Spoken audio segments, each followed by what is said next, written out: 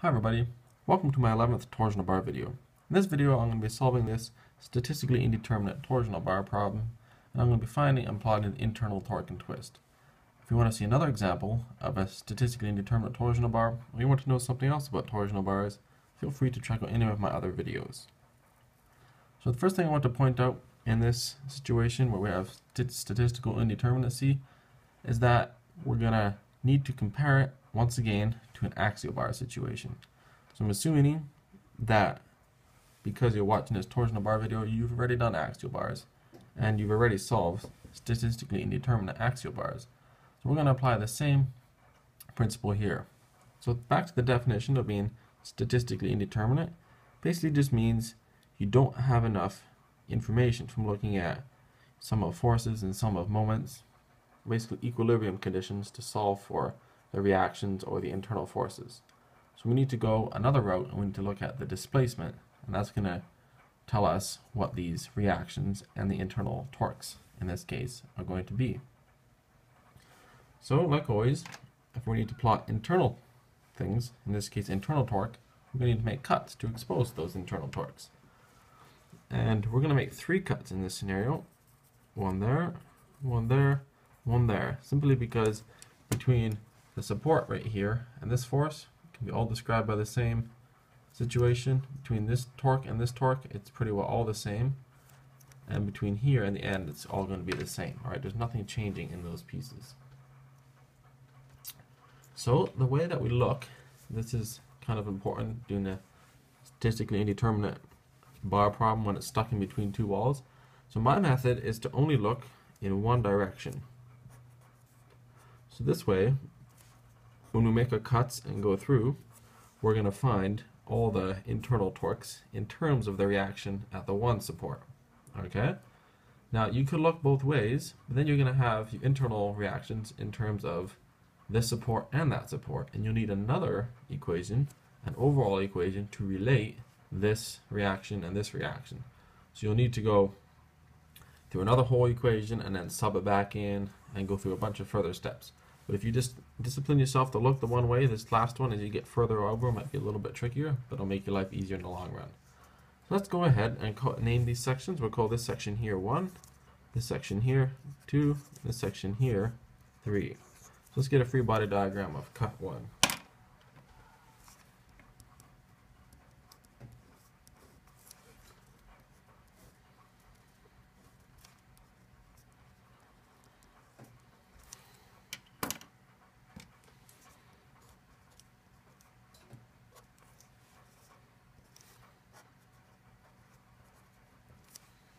Alright, there we go. So quite simply, sum of the torques in the x direction to be 0, and we can say T1 equal to R1.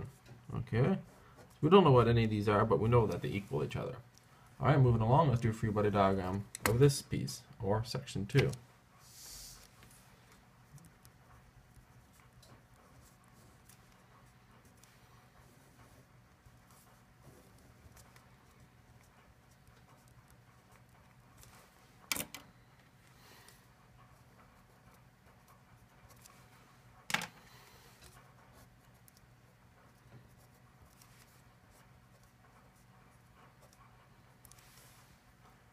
Okay, so the same thing applies here. We sum up the torques in the x direction to be 0. So that's basically T2 minus T minus R1 equals 0. Or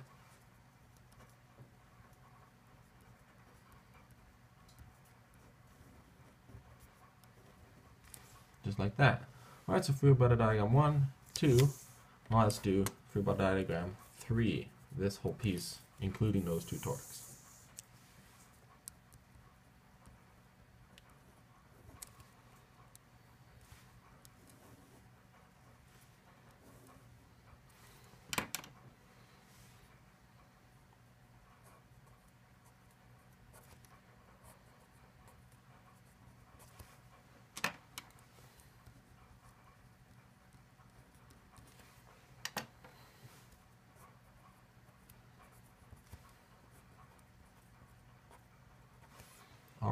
Just like before, we're going to sum up the torques in the X.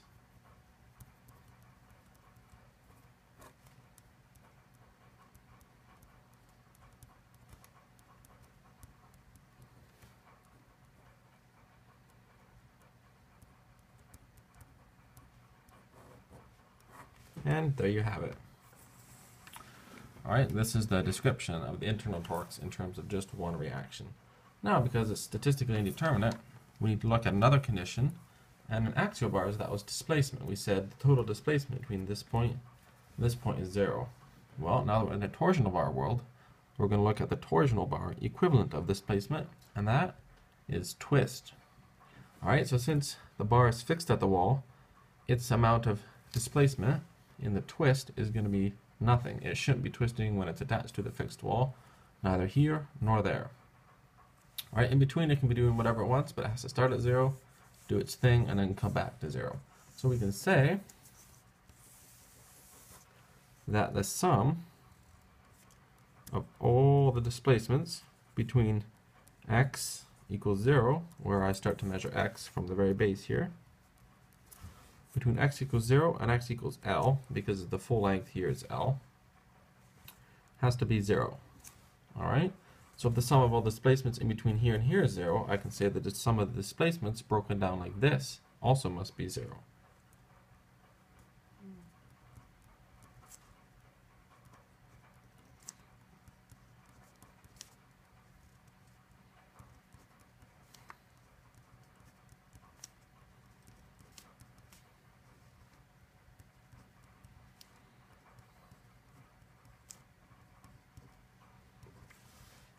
Okay, so mathematically these are the same terms. If you see these pieces of the integral are the same. So this is a mathematically equi equivalent statement to this. Alright, and that's what we want. We want the math to be consistent. Now why did I break it down to these limits? Well, if you look here, starting x to be 0, having these all x, alright, so you can call this x. Those are just the total distances of each of these three pieces. Okay, and that helps us a lot. All right, it's not just arbitrary that I chose those. I chose those for a very specific reason, because each of those displacements can be described by this equation. All right, the amount of displacement in this piece here can be described by the, you know, the properties of that piece, which is the internal torque, G and J. And then, of course, the next little bit of twist can be described by the properties of that piece. So its own T, G, and J. And of course, the same logic for the third one. And in our case, we know each one is going to be different. So that's why I specifically broke them up into the sections that we decided to call 1, 2, and 3. So now I'm going to take this and sub it into here for each, you know, respective value. So this would be section 3. So each one of these is going to be have a little 3 behind it to denote that in this section we have those properties.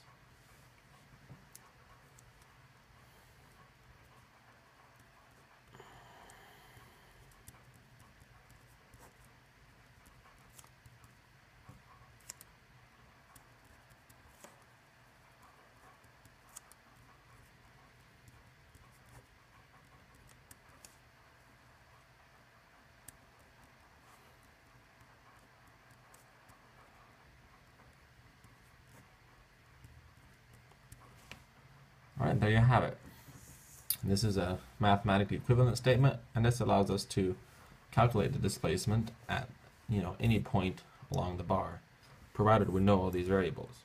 Right now, we just know from here what all our t's are in terms of the reaction.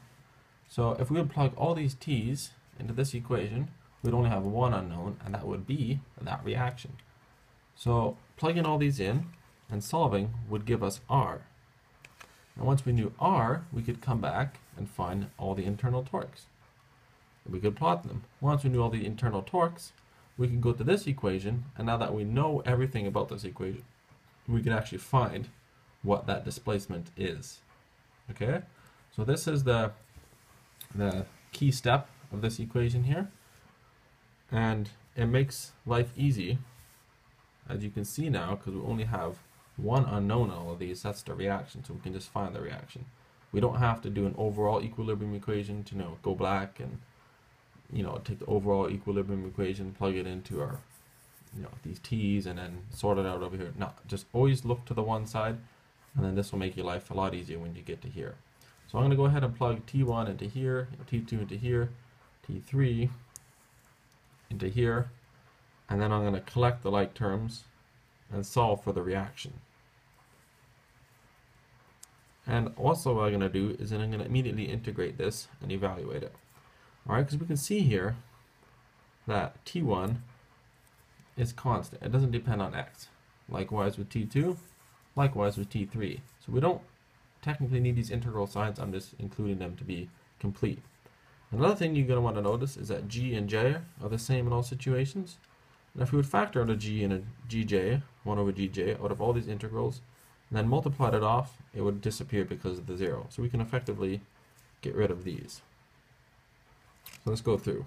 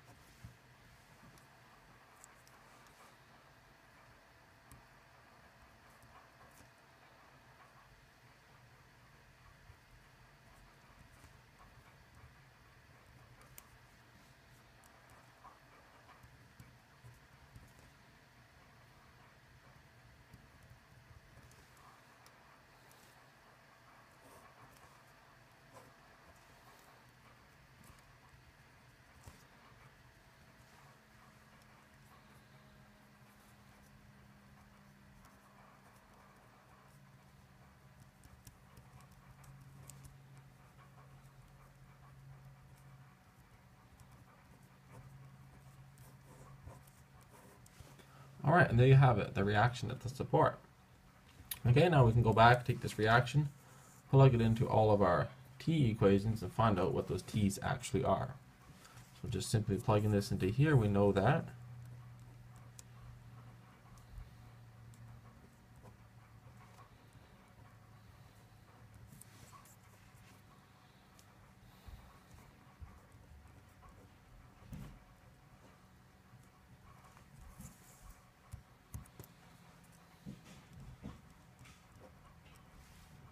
Right, and there you have it. That's the internal torque.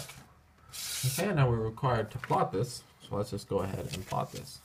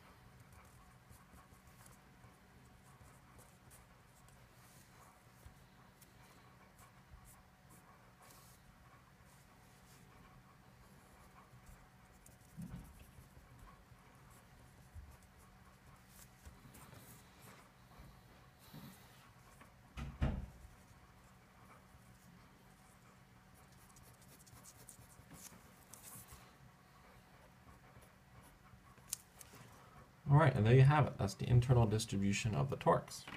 Alright, now, in order to find the displacement, or the twist, we simply take these torques and plug them into this equation here. Since we now know what the torques are, we can solve it overall. I'll go ahead and do that in one step here.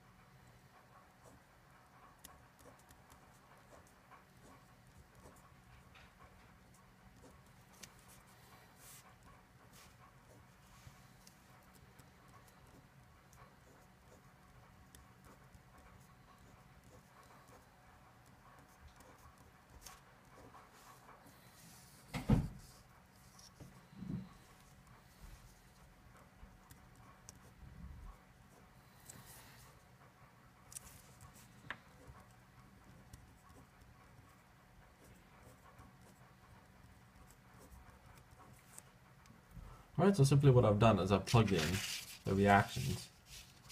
Alright, so I basically plugged in T1, T2, T3, their length, that's the dx term here, and then gj. Now, of course, it counts. Okay, and simplifying this, you can write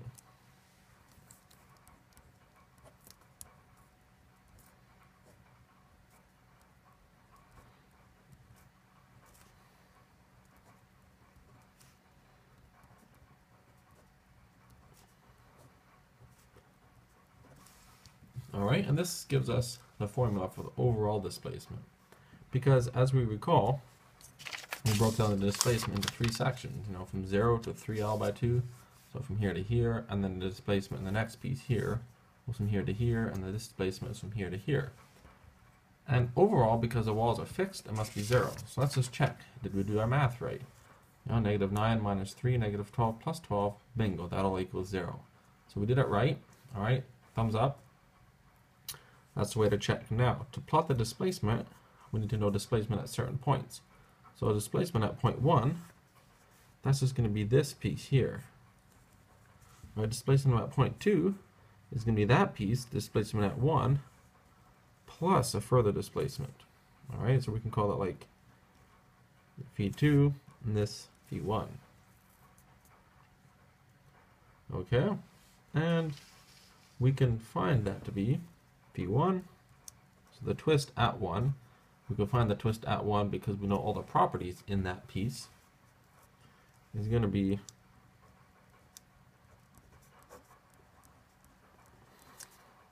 and then phi2 is simply phi1 plus this piece.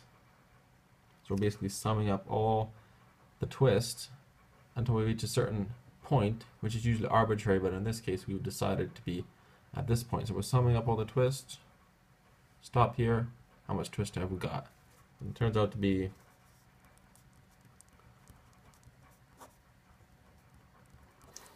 Alright, and of course we can simplify that a little bit, but I'm going to leave it that way, it makes it easier to graph. Alright, let's go ahead and graph this displacement then.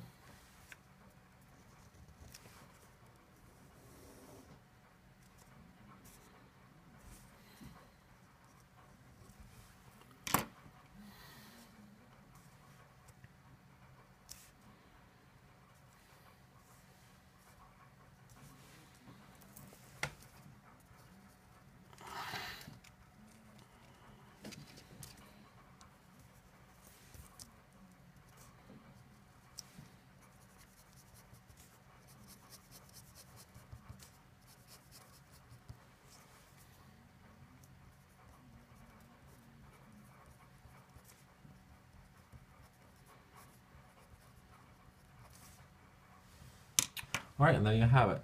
Now, I just want to make a contrast, or really a contrast, a comparison between, alright, this graph here. Alright, so since we integrated t to find phi, we should expect the relationship. So here, it's a great negative value, so we should expect a great negative slope. That's what we have. Here it's negative, but it's of a less value, so we should expect a less negative slope. Exactly what we have. Here it's positive of actually the same magnitude of slope of this. Alright, so just in the opposite direction. That's exactly what we have. Alright, so that brings us to the end of this question. I hope that helped you out. And we'll see you in my next torsional bar video.